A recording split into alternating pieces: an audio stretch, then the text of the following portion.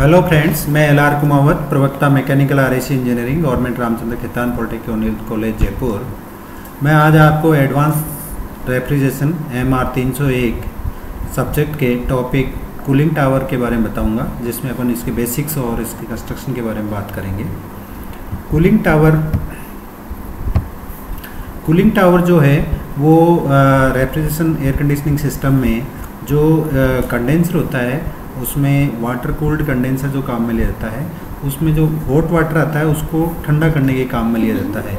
ये जो है cooling tower cooling tower mainly जो recirculating water system type condenser system होते हैं, उन्हीं में काम में लिया जाता है। इसमें वाटर को बार बार रिसर्कुलेट किया जाता है।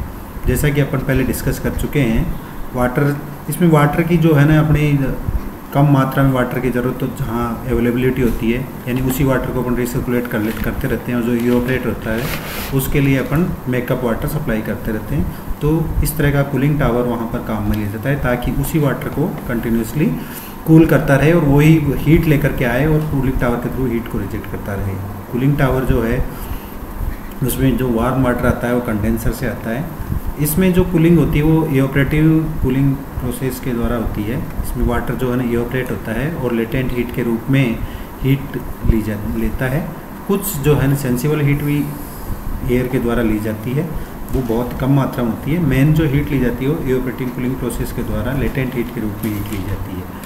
इसमें जो है, ये एक इनक्लोज टावर होता है, जिसमें कि वाटर जो है, वो स्प्रे करवाया जाता है और उसके अगेंस्ट में जो है ना एटमॉस्फेरिक एयर को सर्कुलेट करवाया जाता है। फोर्स भी करवा सकते हैं पर नेचुरल भी हो सकती है।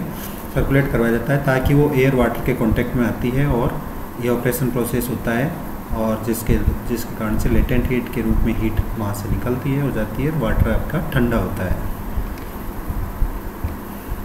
ये एक सिस्टमेटिक डायग्राम है कूलिंग टावर का, जिसमें ये ये कूलिंग टावर है, ये देखिए कूलिंग टावर है। ये पूरा पूरा कूलिंग टावर है। यहाँ से जो है ना हॉट वाटर जैसे कंडेंसर है, ये वाला कंडेंसर यहाँ ये कंडेंसर दे रखा है। ये अपन रेफ्रिजरेशन सिस्टम के बारे में बात करेंगे।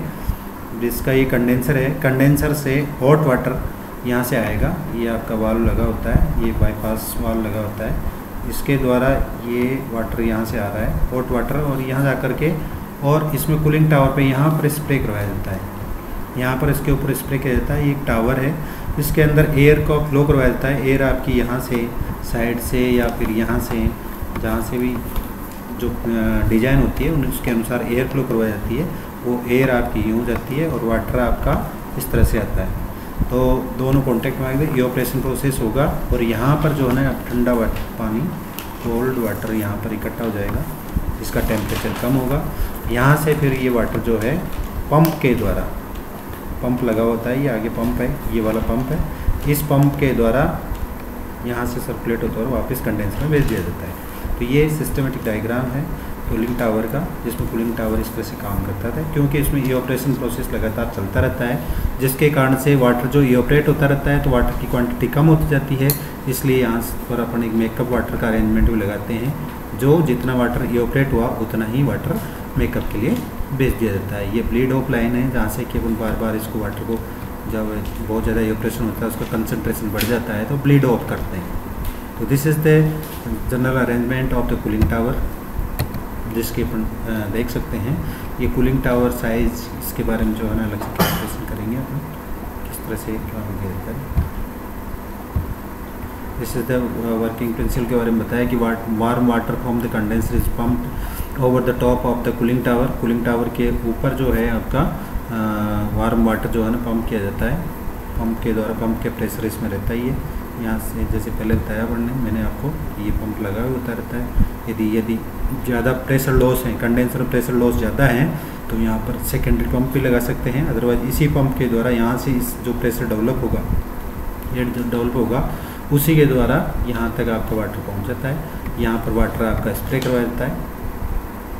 ऊपर से नीचे की ओर और, और इसके अगेंस्ट में जो है एयर को फ्लो करवाया जाता है जिसके कारण से जो है वाटर नीचे की तरफ़ आता है एयर के कांटेक्ट में आता है लेटेंट एट के रूप में हीट रिजेक्ट होती है वेपराइजेशन होता है और ठंडा पानी बेसिन के अंदर टावर बेसिन में आकर के इकट्ठा हो जाता है। इस तरह से जो है ना वाटर का टेम्परेचर कम हो जाता है।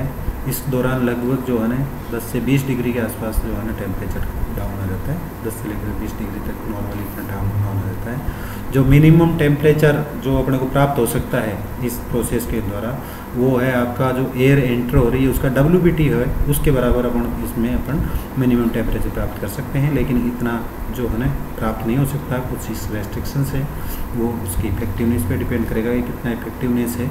उसके अनुसार ही ये आपका W B T near by W B T आ सकता है, यानी कि डब्ल्यू बी टी से थोड़ा ज़्यादा रहता है डब्ल्यू बी टी से लगभग पाँच से सात डिग्री के आसपास ज़्यादा रहता है। ये अलग अलग फैक्टर्स पे डिपेंड करता है। लास्ट जो यदि आइडियल कूलिंग टावर है तो उससे अपन टेम्परेचर डब्ल्यू के बराबर प्राप्त कर सकते हैं। इससे नीचे प्राप्त नहीं कर सकता। इसमें जो है आपका temperature of the water is reduced cooling process occurs due to evaporation evaporation of the water water के एओप्रेशन के कारण से जो है ना कूलिंग प्रोसेस होता है। कुछ हीट जो है ना सेंसिबल हीट के रूप में भी एयर लेती है। लेकिन उसकी मात्रा बहुत कम होती है। इसलिए यदि इसमें पूछा जाए कि भाई कूलिंग टावर में जो है हीट किस रूप में रिजेक्ट होती है? तो मेन जो है वो लेटेंट हीट रूप में, लेकिन कुछ मात्रा में सेंसिबल हीट भी आपकी, कुछ कुछ मात्रा में सेंसिबल हीट भी जो है ना एयर के साथ में जाती है। इसलिए दोनों ही इसमें latent heat plus sensible heat दोनों ही तरह से हीट रिमूव होती है। Then effectiveness cooling tower depends on the W of the entering air जो मैंने अभी बताया, ये लोएस्ट टेम्परेचर है जो डब्ल्यू बी डब्ल्यू जो है एंट्रिंग एयर का, उस, उतना एयर टेम्परेचर अपन प्राप्त कर सकते हैं। यानी जितना कम डब्ल्यू होगा एयर का इफेक्टिवनेस उतनी ही ज़्यादा होती जाएगी।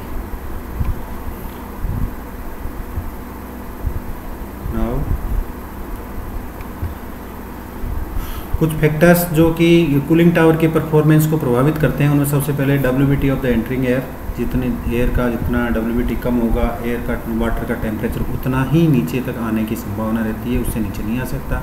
इसलिए एयर डब एयर का डब्ल्यू जो है, वो उसकी परफॉर्मेंस कूलिंग की कूलिंग परफॉर्मेंस है, उसको प्रभावित करता है। दूसरा amount of expose water surface and the time of the exposure कितना एक्सपोज सरफेस अवेलेबल हुआ है वाटर का? जितना ज़्यादा सरफेस अवेलेबल होगा, उतनी ही ज़्यादा ये ऑपरेशन होगा। और कितनी देर तक रहा, जितनी देर, जितनी ज़्यादा देर तक रहेगा ये ऑपरेशन प्रोसेस उतना ही ज़्यादा रहेगा। लेटेंट हीट के रूप में हीट उतनी ही ज़्यादा एब्जॉर्व करेगा। Then velocity of the air passing through the tower यदि वेलोसिटी कम है एयर की तो एयर जल्दी सेचुरेटेड हो जाएगी और ज़्यादा वेपर उसमें आपकी आ नहीं पाएगी। इसी तरह से यदि बहुत ज़्यादा उसकी वेलोसिटी है तो air block air zone water को अपने साथ ब्लॉक करने लग जाएगी, जो भी, जो कि अपने लिए सूटेबल नहीं है। इसलिए एक optimum velocity of the air उस पर भी जो है ना कूलिंग टावर की परफॉर्मेंस डिपेंड करेगी। यानी कि जो है वेलोसिटी जो है, यदि ज़्यादा होगी तो परफॉर्मेंस अच्छी रहेगी, लेकिन बहुत ज़्यादा होगी तो भी आपकी बहुत कम होगी, बहुत ज़्यादा होगी तो वो दोनों ही अपने लिए डिजायरेबल नहीं है। Then direction of the air flow with relation to the expose water surface जो एक्सपोज वाटर सरफेस अपने पास अवेलेबल है, उनकी किस डायरेक्शन में एयर का फ्लो हो रहा है? एयर जो है ना आपकी काउंटर फ्लो भी हो सकती है क्रॉस फ्लो भी हो सकती है पैरेलल हो सकती है, कई इसमें एंगल्स होते हैं एंगुलर हो सकती है। तो उस पर भी डिपेंड करेगा कि किस डायरेक्शन से जो है ना एयर फ्लो हो रही है एक्सपोज सरफेस पे, क्या उसको इतना एक्सपोज मिल पाता है या नहीं मिल पाता है। Then water flow rate over the tower this is the very important water flow rate क्या है?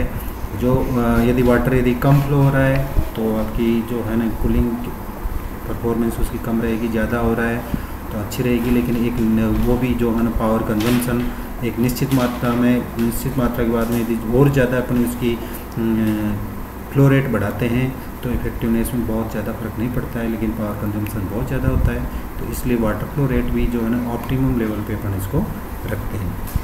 एक्सपोज सरफेस अपन किसको कहेंगे? अपन क्लियर से कह रहे हैं expose water surface expose water surface यानी वो जो सरफेस वाटर की, वो वो सरफेस जो कि डायरेक्टली एयर के कांटेक्ट में आ सकती है. That is known as the expose surface of the water तो सबसे जो इनमें जो सरफेसेस लेते हैं, वो एक तो ये लेते हैं कि वाटर जो बेसिन में वाटर इकट्ठा हो गया, वो है then wetted surface of the in the tower tower के अंदर are wetted surface combined surface of the water droplets falling जो वाटर ड्रॉपलेट्स नीचे आ रही है, उनका कंप्लीट सरफेस भी इसी में कैलकुलेट किया जाएगा। तो this is the cooling tower इसके बाद में अपन इसके डिटेल्स इसके बारे में स्टडी करेंगे। इसके टाइप्स इसकी परफॉर्मेंस इत्यादि सभी चीज़ों के बारे में स्टडी करेंगे। Thank you